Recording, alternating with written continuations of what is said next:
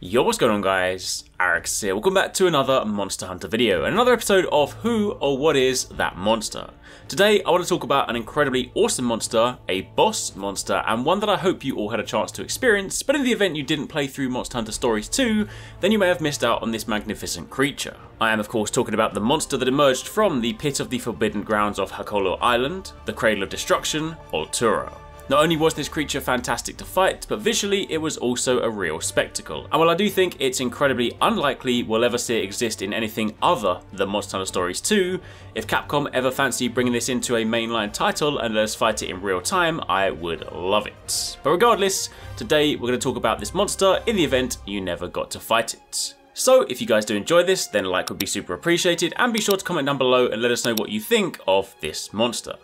Also, if you haven't done so already, don't forget we still have some of the Ponchis left. These are our officially licensed Monster Hunter plushies that we produce with Capcom. There are four awesome designs, cute little palicos with monster ponchos that are fully removable, so if you like these and want to grab one, then the link to the endgame store is in the description box down below. Be sure to grab them while stocks last because once they are gone, they are gone. Now, let's talk about Oltura. If you never made it to the end of Monster Hunter Stories 2, then you missed out on something truly epic.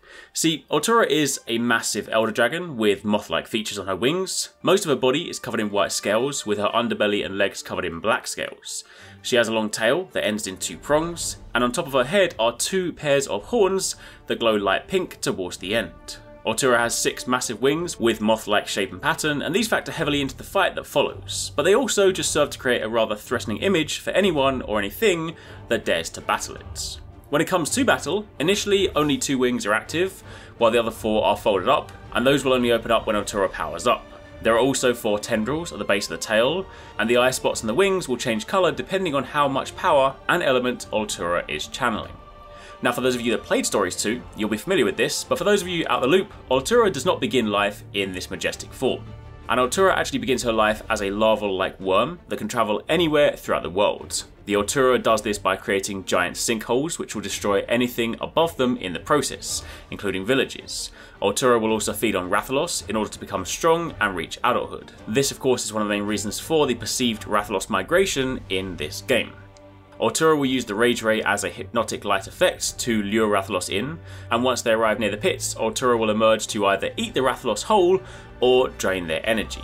And while a significant number of any kind of Rathalos will seemingly do, a Razewing Rathalos, the poster boy for the game, is of course particularly effective in accelerating Oltura's growth.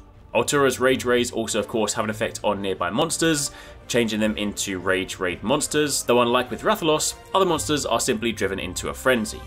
These rays, along with Oltura's voice, can also affect humans and Wyverians, which of course led to a cult forming devoted to worshipping her. However, the cult was of course very misguided, as Oltura's only desire was to live.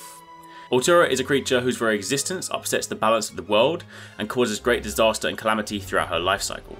While an adult Oltura is smaller than her larval state, it is, however, significantly more powerful.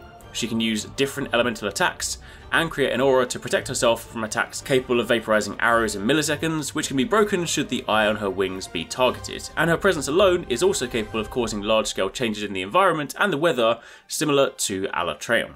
This, paired with her all-consuming desire to live, her intensely aggressive approach to defending itself, destructive effect on the world around her, and disregard for all other living things, make her a threat to the entire world and makes coexistence nearly impossible.